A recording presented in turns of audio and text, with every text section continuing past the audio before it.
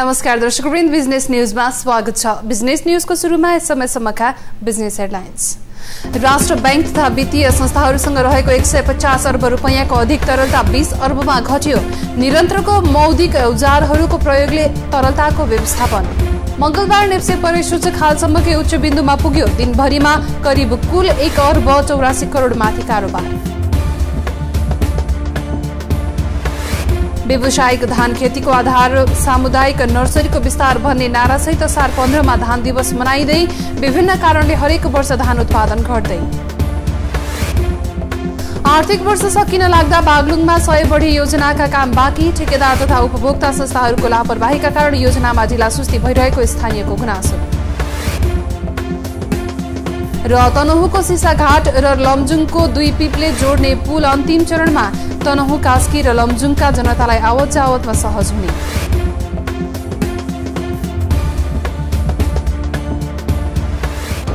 हामी निरन्तर बिजनेस न्युजमा छौं। राष्ट्र ब्याङ्क तथा वित्तीय संस्थाहरूसँग रहेको एक सय पचास अर्ब रुपियाँको अधिक तरलता अब बीस अर्बमा घटेको छ। नेपाल राष्ट्र ब्याङ्कले व्यवस्थापनका लागि निरन्तर मौद्रिक औजारहरू प्रयोग गर्न थालेपछि तरलता व्यवस्थापन भएको राष्ट्र ब्याङ्कले जनाएको छ।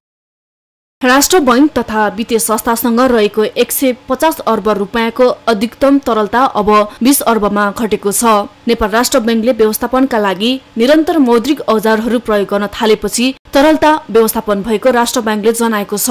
बैङ्कहरूसँग अनिवार्य तरलता अनुपात सिआरआर एटिएम र नियमित कारोबार छुट्याएपछि बाँकी बीस अर्ब रुपियाँको अधिकतम तरलता रहेको हो। यसअघि एक सय पचास अर्ब अधिकतम तरलता थियो। बीस अर्ब रुपियाँको अधिकतम तरलता हुनु एकदमै सहज अवस्था रहेको नेपाल राष्ट्र ब्याङ्कले जनाएको छ। बाइस वर्षपछि जारी गरेको राष्ट्र बैङ्क ऋण पत्रमा तेइसवटा संस्थाले एक सय सन्ताउन्नवटा बोलक बोल दर्ता गराएका थिए। दस अर्बको ऋण पत्रका लागि तेइस अर्ब दुई करोड रुपियाँ बराबरको आवेदन परेको थियो। यसको ब्याज दर सय कडा बिस पैसा कायम भएको छ। अघिल्लो पटक जेठ सोह्र गते जारी गरेको दस अर्बको ऋण पत्रमा एकतिस अर्ब तेत्तिस करोड रुपियाँको आवेदन परेको थियो। मंगलबार शेयर बजारले पुनः नयाँ रेकर्ड बनाएको छ। नेप्से परिसूचक एघार दशमलव तीन पाँच अङ्कले बढेर अहिलेसम्मको उच्च बिन्दु एक हजार सात सय चौबिस दशमलव एक नौ अङ्कमा कारोबार भएको छ। मङ्गलबार सेयर बजारले पुनः नयाँ रेकर्ड बनाएको छ। नेप्से परिसूचक एघार दशमलव तिन पाँच अङ्कले बढेर अहिलेसम्मको उच्च बिन्दु एक हजार सात सय चौबिस दशमलव एक नौ अङ्कमा कारोबार भएको छ।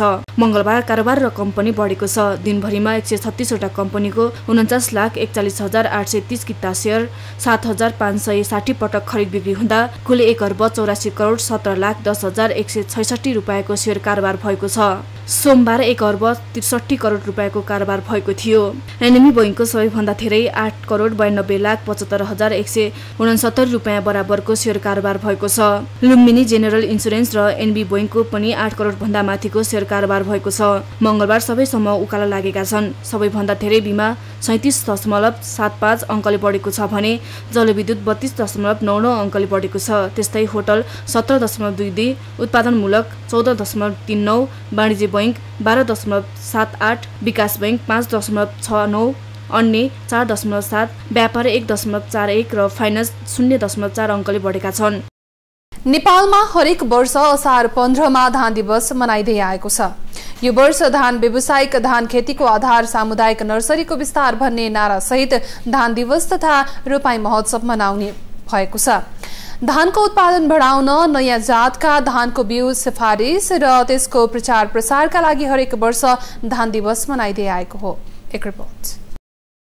नेपालमा हरेक वर्ष करिब नब्बे अर्ब रुपियाँ बराबरको धान उत्पादन हुने गरेको छ तर कुल धान खेती हुने गरेको एक्काइस प्रतिशत क्षेत्रफलमा मात्र सिँचाइ सुविधा उपलब्ध भए पनि बाँकी क्षेत्रमा आकाशी पानीको भर पर्नुपर्ने स्थिति छ। हुन जातको बिउको प्रयोग निकै कम हुनु समयमा रासायनिक मल उपलब्ध नहुनु अधिकांश कृषकहरू परम्परागत खेतीमै निर्भर रहनुले पनि धानको उत्पादनमा वृद्धि हुन नसकेको विज्ञहरू बताउँछन्। हाम्रो करिब पन्ध्र लाख हेक्टरमा धान खेती गर्छौँ भने दस लाखमा मात्रै सिँचाइ पुर्याएर मल समयमा उपलब्ध गरायो भने हामी आत्मनिर्भर भएर निर्यात गर्न हरेक वर्ष धान रोपाई मनाउने गरे पनि धानको उत्पादन भने सोचेको जस्तो बढाउन नसकेको कृषि विज्ञहरूको भनाइ छ। गत आर्थिक वर्षको तुलनामा चालु आर्थिक वर्षमा चार लाख नब्बे हजार मेट्रिक टन धान उत्पादनमा कमी आएको छ। चालु आर्थिक वर्षमा मुख्य बाली धान र मकैको उत्पादनमा कमी आएकोले समग्र कृषि उत्पादनमा नकारात्मक प्रभाव पार्न सक्ने मन्त्रालयले जनाएको छ। मनसुनको कमी नाकाबन्दीबाट उत्पन्न भएको अवरोध कृषि योग्य जग्गाहरूमा भएको अतिक्रमणका कारण चालु आर्थिक वर्षमा मुलुकको कृषि उत्पादनमा कमी आएको हो। न्युज ट्वेन्टी फोर टेलिभिजनका लागि क्यामेरामा माधव घिमिरका साथ टिभी जर्नलिस्ट सविता प्रति काठमाडौँ। आर्थिक वर्ष सकिन दुई हप्ता मात्र बाँकी रहँदा बागलुङमा सञ्चालित आधा बढी योजना सम्पन्न हुन सकेका छैनन्।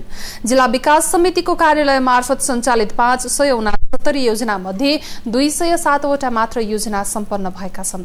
एक रिपोर्ट ढिलो गरी बजेट आउने र काम गर्नेले पनि अन्तिममा सम्झौता तथा भुक्तानी लिन आउने गरेका कारण योजनाको काम सम्पन्न हुन नसकेको जिल्ला विकास समितिको कार्यालय बागलुङले जनाएको छ। चालु आर्थिक वर्षका लागि पूर्वाधारतर्फ चार सय पचहत्तर र कार्यक्रमतर्फ एक सय दुईवटा आयोजना समावेश गरिएको जिल्ला विकास समितिका योजना अधिकृत ईश्वरलाल साक्यले जानकारी दिनुभयो। साक्यका अनुसार वर्षभरि जिल्लामा सञ्चालित पाँच सय उन्सत्तर योजना मध्ये तीन सय अठाइसवटा निर्माणाधीन रहेका छन् भने सत्रवटा योजनाहरू सम्झौता हुन सकेको छैन। जीविस मार्फत हुने योजना अनुगमनको पाटो फितलो हुनु ठेकेदार तथा उपभोक्ता संस्थाहरूले लापरवाहीको रूपमा काम गर्ने भएकोले पनि योजना सम्पन्न हुन नसकेको स्थानीयले गुनासो गरेका छन्। जिल्ला विकास समिति बागलुङले जिल्लाका सबै गाविसमा सडक सञ्जाल पुर्याउने उद्देश्यका साथ बजेट विनियोजन गर्दै आए पनि विभिन्न कारणले योजनाहरू सम्झौता हुन सकेका छैनन्। चालु आर्थिक वर्ष सकिने लाग्दा केही आयोजनाहरू विवादका कारण सम्झौता हुन नसकेको अधिकृत साक्यले बताउनु भयो डेढ सालसम्ममा हाम्रो चाहिँ सम्झौता भएको योजना टोटल भन्नुपर्दा हाम्रो पाँच सय उन्सत्तरीवटा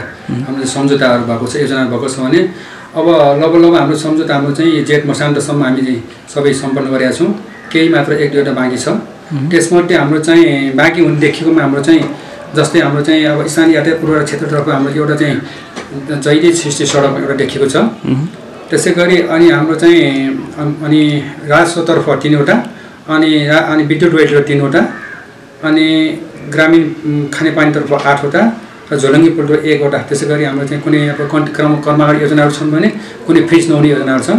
तीन लाख रुपियाँभन्दा बढी रकमको योजनाहरू गाविस तथा नगरपालिकाको खातामा राखेर प्राविधिक टोलीहरू मिलान गरी पठाउनु पर्ने बाध्यताका कारण आयोजना समयमा नै सम्पन्न गर्न समस्या भएको छ। जीविस अनुदान अन्तर्गतका स्वीकृत उनान्सय योजना मध्ये उनपचासवटा सम्पन्न भएका छन् भने एउटा सम्झौता गर्न बाँकी रहेको छ। न्युज ट्वेन्टी टेलिभिजनका लागि बाग्लुङबाट टिभी जर्नलिस्ट युवराज कडेलको रिपोर्ट। हामी निरन्तर बिजनेस न्युजमा छौँ। हामी निरन्तर बिजनेस न्युजमा छौँ। तनहुको श्यामधा चार सिसाघाट र लमजुङको मध्य नेपाल नगरपालिका एघार दुई पिपले जोड्ने मोटरेबल पुलको निर्माण अन्तिम चरणमा पुगेको छ। पुल निर्माण हुन लागेसँगै स्थानीयमा खुसियाली छाएको छ। एक रिपोर्ट वर्षौंदेखि बिरामी परेको समयमा समेत हिँडेर दुई पिपिलेसम्म आइपर्नुपर्नेमा पुल निर्माणले यातायातमा सहज बनाउने भएपछि स्थानीयहरूमा खुसियाली छाएको छ। माडी नदीमाथि निर्माण सम्पन्न हुन लागेको पुलको कुल लागत आठ करोड पन्चानब्बे लाख रुपियाँ रहेको सिसाघाट पुल निर्माण समितिले जनाएको छ। दुई हजार उन्सत्तरी साल साउन महिनाबाट निर्माण प्रारम्भ भएको पुल दुई हजार बहत्तर मसान्तसम्ममा पुरा भइसक्नुपर्ने लक्ष्य थियो। तर भारतीय नाकाबन्दीले काममा केही ढिला भएको हो। अब दशैं अगावै पुल पूर्ण रूपमा निर्माण सम्पन्न भइसक्ने पुल निर्माण समितिका अध्यक्ष दिन बहादुर दुराले जानकारी दिनुभयो। पुल निर्माण पश्चात तनहु कास्की र लमजुङका जनतालाई आवजावतमा सहज हुने स्थानीयको भनाइ छ।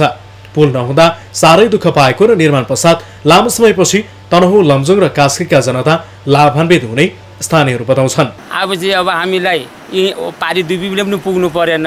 आँगनैमा गाडी गाडीमा चढ्न पाइयो। अब जताबाट आए पनि आँगनैमा ओर्लिन पाइयो। यसले गर्दाखेरिमा सबै खुसी छ नि गाडी। अब यो पुलले गर्दाखेरिमा हामी सबैलाई सुविस्ता धेरै सुविस्ता भएको छ। धेरै दुःख पाइएको थियो। अब अहिले पुल हुँदाखेरि तिन तनाउ लम्जु कास्कीको जनताहरू धेरै लाभान्वित हुनुभएको छन् त्यसैले अब यो पुलको चाहिँ धेरै हामीलाई अब सोचभन्दा पनि अब धेरै माथि अब राम्रो हुन्छ। पुल निर्माण भएसँगै कास्की र तनहुमा उत्पादित तरकारी लगायतका सामान बजारसम्म पुर्याउन समेत सहज हुने अपेक्षा किसानको छ। यहाँ उत्पादनशील जमिन छ र उत्पादनशील जमिन भए पनि त्यो उत्पादनलाई सही र सही समयमा बजारमा चाहिँ लान अति असम्भव भएको छ र यो पुल बन्ने बित्तिकै यो तयार भएपछि यहाँका जनताहरूलाई असाध्यै राम्रो लाभ हुने चाहिँ सिसाघाटको मोटरेबल पुल निर्माण भएपछि तनहुको श्यामधा र थप्रे गाविसका जनता र कास्कीको सिद्ध देउराली त्यसै गरी थुम्की र रूपाकोटसम्मका जनता लाभान्वित हुनेछन्। न्युज ट्वेन्टी टेलिभिजनका लागि तनहुबाट टिभी जर्नलिस्ट श्रीहरि पौडेलको रिपोर्ट। नेपालगञ्ज उपमहानगरपालिका वडा नम्बर एक्काइस जयसपुरका मोहियादिन कबडिया केही वर्ष अघिसम्म सीमावर्ती भारतीय बजार रुपैडियाबाट साइकलमा तरकारी ल्याएर बेचेर गुजारा चलाउँथे। तर अहिले उनी तीस कट्टा जमिनमा आफै तरकारी खेती गर्छन्। अहिले उनी व्यावसायिक रूपमा सफल तरकारी कृषकका रूपमा स्थापित भएका छन्। एक रिपोर्ट गाउँका केही व्यक्तिहरू मिलेर जिल्ला कृषि विकास कार्यालय बाँकेमा बाली विकास समूह दर्ता गरी सामूहिक रूपमा तरकारी खेती गर्न अग्रसर भएपछि उनले पनि आफूसँग भएको चार कट्ठा र छ कट्ठा जग्गा भाडामा लिई व्यावसायिक तरकारी खेती सुरु गरेका हुन्। सुरुको वर्षमा साग उत्पादन गरेर बिक्री थालेका उनले पहिलो वर्षबाटै सफलता पनि हात पारे। पहिले हामीले त सागैमा सिक्यौँ न। छन् टिप्न जाऊ साग फेरि भोलि पर्सि फेरि हुन्छ साग। भाजीको साग दुई तिन काठामा लगाइदियो दिन दिनै खाऊ। हाम्रो नेपालमा साग धेरै चलन छ। रुपेडियाबाट तरकारी किनेर बेचबिखन गर्दा घर धान्न धौधो पर्ने कबडियाले अहिले व्यावसायिक रूपमा बेमौसमी तरकारी खेती गर्दा आफ्नो जीवनशैली नै परिवर्तन भएको महसुस गरेका छन्। सुरुमा दस कट्टाबाट सुरु गर्नु भएको तरकारी खेती अहिले तीस कट्टा जमिनमा विस्तार भएको छ। मौसमी तथा बेमौसमी तरकारी खेती गर्दै आएका उनले तरकारी खेतीबाटै घर खर्च बाहेक दस कट्टा जग्गा र नेपालगञ्ज भन्सा सँगै जोडिएको सडकमा घडेरी तथा पक्की घर र गाडी समेत किनिसकेका छन्। उनले उत्पादन गरेका तरकारी छिमेकी जिल्ला सुर्खेत पहाडी जिल्लाहरू र कर्णालीका जुम्ला हुम्लासम्म समेत पुग्ने गरेको छ। मोहियाद्दिन कबडियासँगै उनको गाउँमा पच्चिस भन्दा धेरै किसानहरू अहिले तरकारी खेतीमा संलग्न छन्। तरकारी खेतीबाट मनकी आमदामी हुने भएपछि कबडिया जस्तै बाँके कसनापुर वार्ड नम्बर चारका छुन्नो चौधरीले पनि बगरमा तरकारी खेती गरेर आमदामी गर्न सफल भएका छन्। जिल्लामा बेमौसमी खेतीको राम्रो सम्भावना भए पनि जिल्लाको कुल खेतीयोग्य जमिन छत्तिस हजार पाँच सय हेक्टर मध्ये चौबिस हजार हेक्टरमा सिंचाइको समस्या छ। तैपनि व्यावसायिक रूपमा कृषि गर्ने किसानको संख्या भने पाँच सय पाँचजना रहेको जिल्ला कृषि विकास कार्यालय बाँकेको तथ्याङ्कमा उल्लेख छ। विगत सात वर्षको तुलनामा अहिले व्यावसायिक रूपमा तरकारी खेती गर्ने किसानहरू बढेको जिल्ला कृषि विकास कार्यालयका बागवानी विकास अधिकृत चुर्तु भुजे चौधरीले बताए।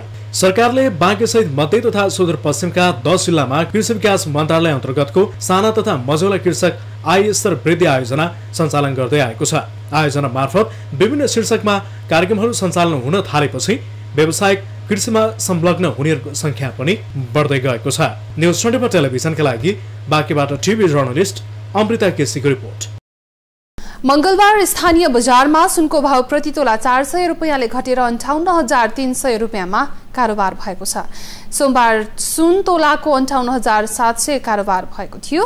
मंगलबार भने तेजाबी सुन प्रति तोला अन्ठाउन्न हजार पचास रुपियाँमा कारोबार भएको छ।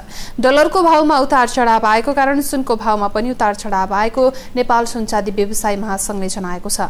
मंगलबार चाँदीको भाव भने स्थिर रहेको नेपाल सुन चाँदी व्यवसाय महासंघले जनाएको छ। महासंघका अनुसार मंगलबार चाँदी तोलाको आठ सय पन्ध्रमा कारोबार भएको छ। बिजनेस न्युजको अन्त्यमा यस समयसम्मका बिजनेस हेडलाइन्स पुनः एकपटक। राष्ट्र ब्याङ्क तथा वित्तीय संस्थाहरूसँग रहेको एक सय पचास अर्ब रुपियाँको अधिक तरलता बिस अर्बमा घट्यो। निरन्तरको मौद्रिक औजारहरूको प्रयोगले तरलताको व्यवस्थापन। मंगलबार नेप्से परिसूचक हालसम्मकै उच्च बिन्दुमा पुग्यो। दिनभरिमा करिब कुल एक अर्ब चौरासी करोड माथि कारोबार व्यावसायिक धान खेतीको आधार सामुदायिक नर्सरीको विस्तार भन्ने नारासहित असार पन्ध्रमा धान दिवस मनाइँदै विभिन्न कारणले हरेक वर्ष धान उत्पादन घट्दै। आर्थिक वर्ष सकिन लाग्दा बागलुङमा सय बढी योजनाका काम बाँकी ठेकेदार तथा उपभोक्ता संस्थाहरूको लापरवाहीका कारण योजनामा जिल्ला सुस्ती भइरहेको स्थानीयको गुनासो। र तनहुको सिसाघाट र लमजुङको दुई पिपले जोड्ने पुल अन्तिम चरणमा तनहु कास्की र लमजुङका जनतालाई आवत जावतमा सहज हुने।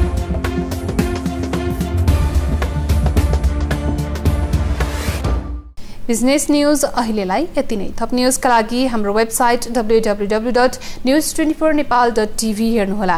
साथै हामीलाई फेसबुक ट्विटर र युट्युबमा पनि फलो गर्न सक्नुहुनेछ। अहिलेलाई बिदा दिनुहोस्। हामी पुनर्निर्माण सबल नेतृत्व र सुशासनको निरन्तर फलोअपमा छौँ। नमस्ते।